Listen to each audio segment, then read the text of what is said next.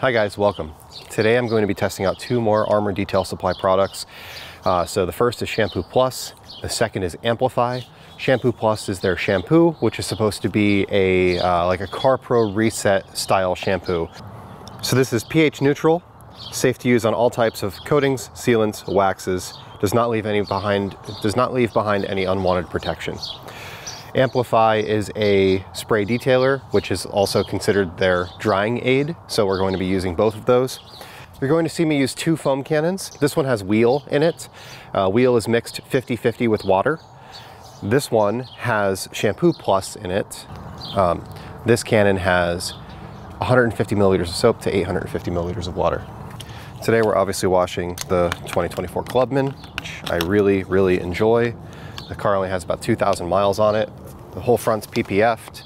I ordered a JB4 for it, so that will be here shortly.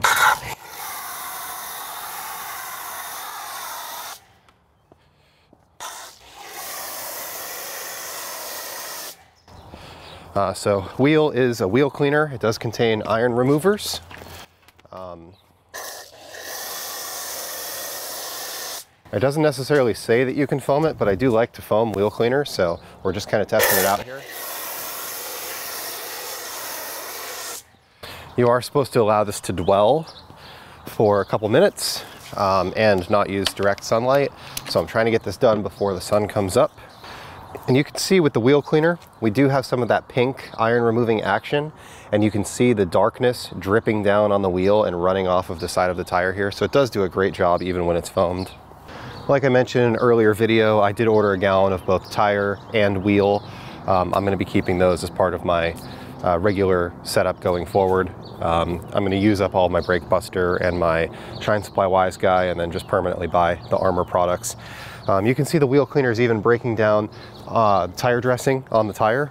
So it does do a good job of that. They have a specific tire cleaner, which I think is a little bit more aggressive and might do a better job. Um, but for regular maintenance washes, you could probably use the wheel for both.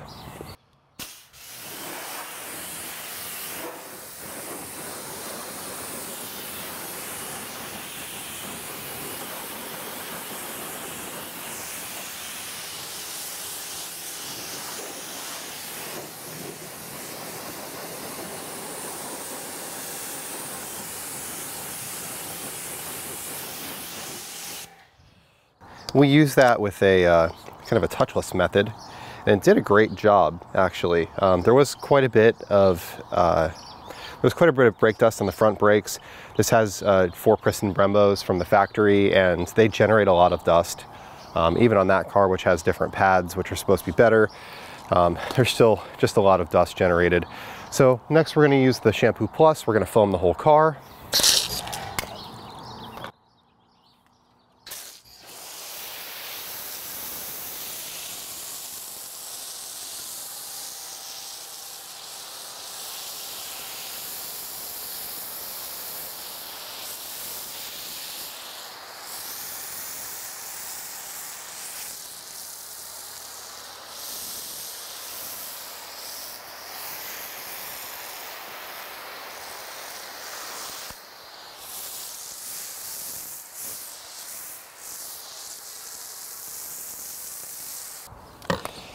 As you can see, the, uh, the foam is really thick, um, shaving cream style foam. I could probably do a little bit less dilution in this, which brings up a conversation around cost, right? So I normally use GSF. GSF is about 80 bucks for a five liter bottle. Um, a five liter bottle, I normally mix 150 milliliters with the rest water. So, you know, it's about a 15% dilution. Um, if this could do 10% because it's producing more product or because it's uh, more concentrated, then even if this is the same cost, it actually ends up being a better value because you can use less of it. This is the Microfiber Madness Deli pad, and I truly don't see a reason why they offer two different pads. Um, I realize this one came out second, which is probably more the reason, but if they have one that's designed for delicate paint, then why would you want to ever use the one that's not? Um, I don't think that this performs any worse than the standard um, Incredipad, which they've had for a long time. Um, so I do really enjoy using this pad. Um, I bought five of them when they first came out, and honestly, um, anytime I need new pads in the future, I'm just gonna pick up more of these.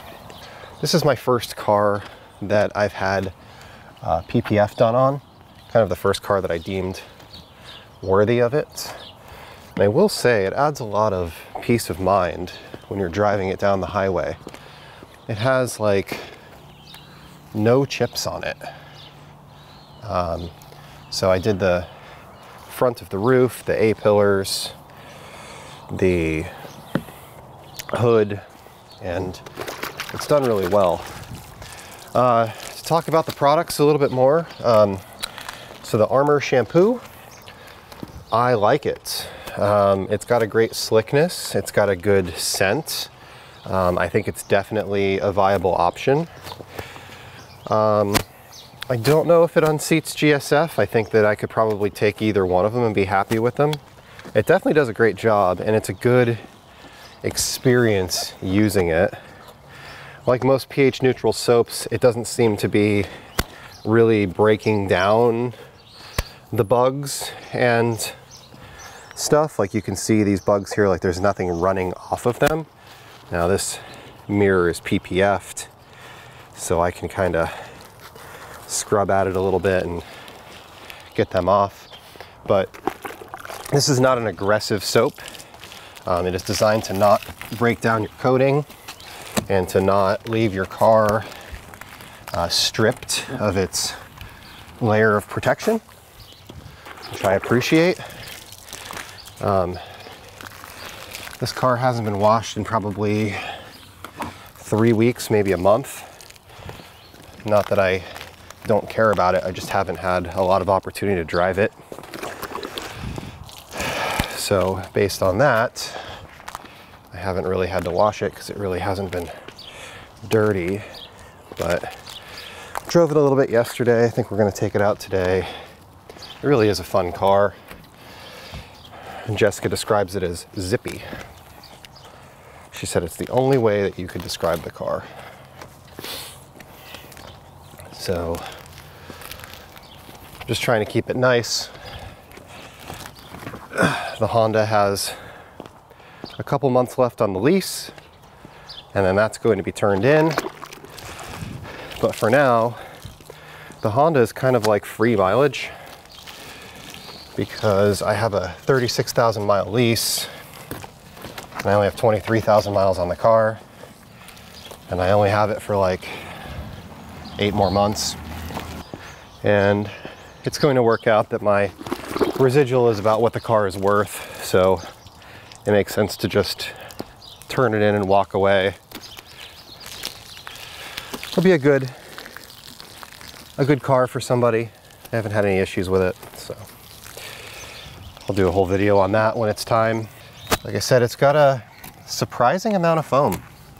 I wasn't really expecting that. Um, you know, I figured doing the same dilution as GSF, I would end up with about the same type of foam.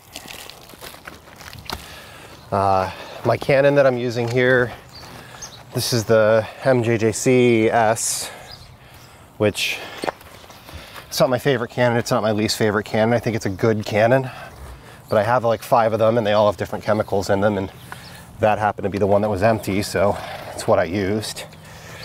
It has a uh, 1.25 orifice in it.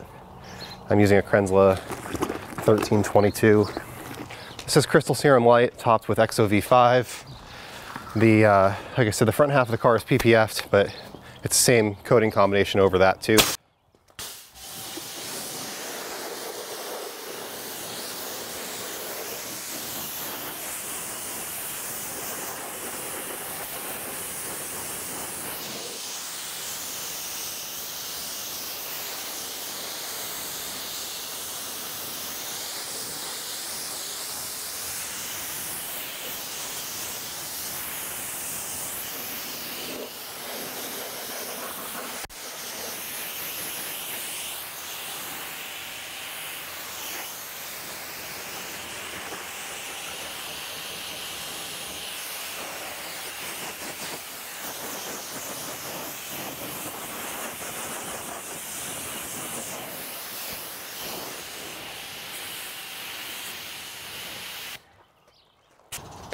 All right, so this is the coolest part about a car with a coating on it.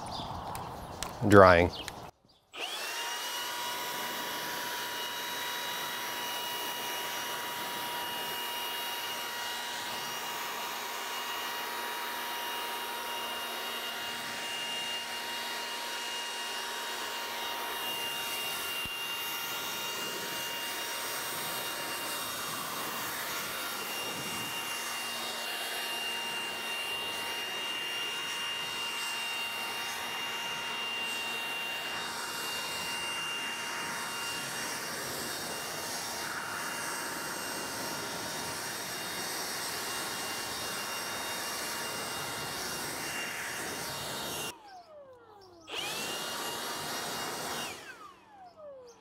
Check out the difference here between the hood and the windshield. I think that's a pretty pretty good example of why the ceramic coating is great. So you see the amount of water here, there's very little. There's some that's here, a little bit right there, but you see the windshield? Now the windshield's not coated, this is. And the difference is pretty remarkable. This is a Rag Company Gauntlet. It's their medium-sized gauntlet. I think it's like a 16 by 27.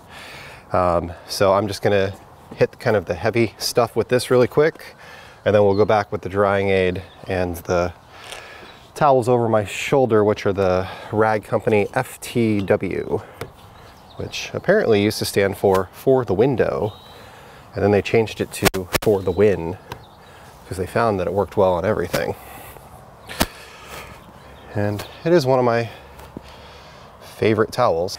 Interesting side effect of a ceramic coating is use way less towels when drying your car if you use the blower first, that is. Uh, just because there's way less water on your car when you actually get to it. Get the door jambs quick. Amplify, you're supposed to spray on your drying towel. Wipe off one panel of the vehicle at a time. So that's what we'll do. Again, Rag Company FTW this does contain some ceramic. So like most ceramic based products, you'll want to make sure that you get it all off so you don't end up with streaks. But it is not a ceramic coating, should not be considered a ceramic coating. It's a, uh, sacrificial layer, if you will. A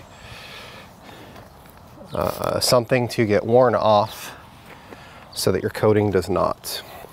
With cars, it always seems to be about layers of protection.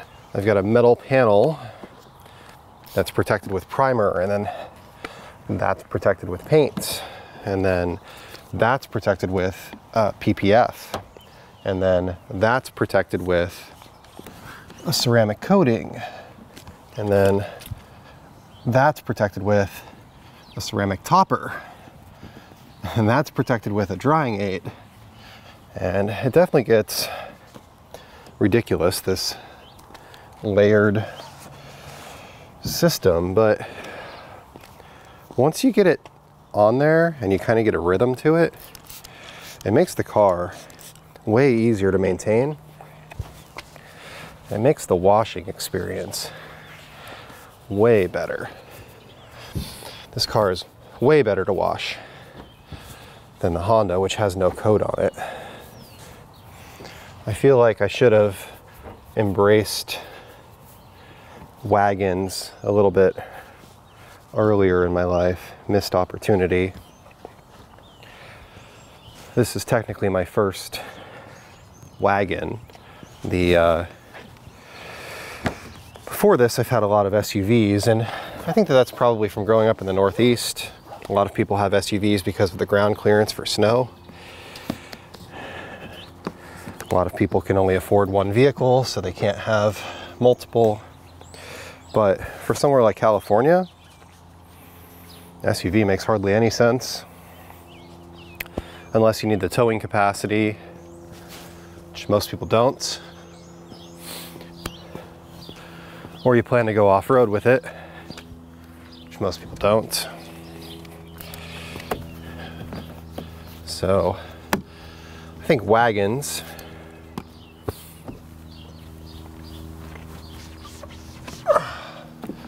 are actually pretty cool.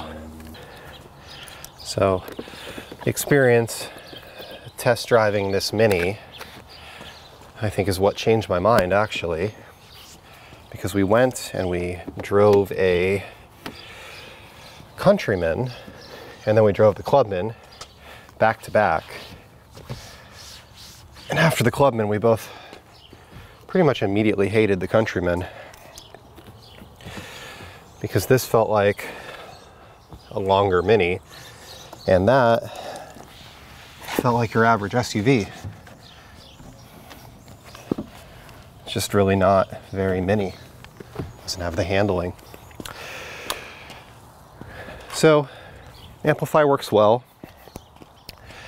Um, I think I like the OG drying aid better than this one, just being honest. Um, it's not a bad product, it works well.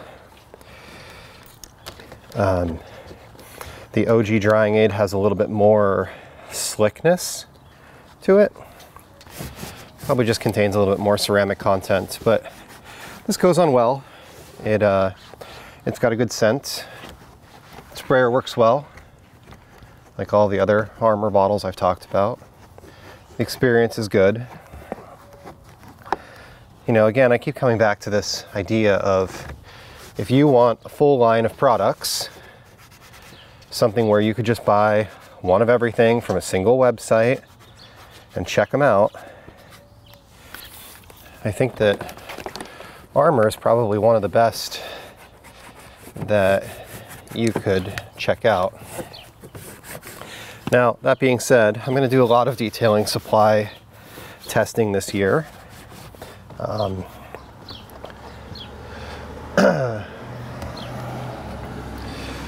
so, right now, obviously wrapping up armour, I have um, White Diamond, which is from Belgium interesting product line. I have um, Koch Blue line, which is like their uh, kind of home or prosumer line, not their professional line. It's really just a dialed down version of their entire line to like the eight or nine products that you need. Um, I have Monkey Head on its way. That's a a new launch and I have Renu, R-E-N-U, on its way. So these are all products that I'm interested in testing for one reason or another. Uh, so I'm going to be going through them. Probably to do White Diamond next. So I think that's all for today. Um, that wraps up the Armour Detail Supply line. Uh, well, the washing line. I do still have their coating, I do still have their wheel coating, and I do still have their panel prep. I will use all three of those in a future video. I'm doing new tires for the Gray Mini. Um, they're actually here, I just have to get them installed. So I'll do the wheel coating after doing the tire installation. I'll get to use the panel prep as part of that. I'm going to apply their ceramic coating to my Gray Mini as well. So there'll be a video on that that you guys will get to see. But overall, I've been really impressed with the line. I've liked their packaging, their pricing is good, their shipping is good. Um, they tend to have a sale going on most of the time if you follow them on Instagram. There is a link in the description. If you follow that, it will give you 10% off of your order and gives me a small kickback for you placing an order. So it is one of the ways that you help me to support my channel. Like I mentioned, I have a couple other product lines that are coming up in the future. White Diamond will be next. And we're just gonna kind of go through some of those. I'm gonna put in some other videos in between, some audio stuff, some house stuff, you know, just a couple other things to mix it up and not have it be the same, you know, detailing supply videos over and over again. I think that that's gonna get boring for some of the viewers. But yeah, I mean, I really like the Armour line. Um, and I think it's a great, a great product line for somebody who is looking to just buy from one place, get a full line of products that are designed to work together, not have to think about, oh, is this wheel cleaner better than this wheel cleaner and you know all these different things and just buy from one store. Um, they don't have too many products. They don't have too few products. I would really like to see a rinseless. Um, I'm sure they're coming out with one. I, I, heard they're coming out with one in one of the interviews that they did on YouTube. Um, so I'm excited to try that out when it happens. And when it does, I'll, I'll get it and I'll test it out. Uh, but, you know, I think the king of rinseless right now is DIY Detail. Um, Yvan LaCroix just, that's, that's what he does. Rinseless is what he does, you know, and uh, they've really spent a lot of time and money developing that procedure. So anyway, I think the, the products speak for themselves. Look at the car, it's, it's awesome. Um, and uh, every single one of them has been a pleasure to use. And I definitely wouldn't hesitate, you know, if you're out of your favorite product and you can't, you know, maybe it's not available or you just want to try something new, um, order something from Armour. Like everything they have is great. I wouldn't even hesitate to order a gallon size of anything that they make. They're all great products. So thank you for watching and uh, have a great day.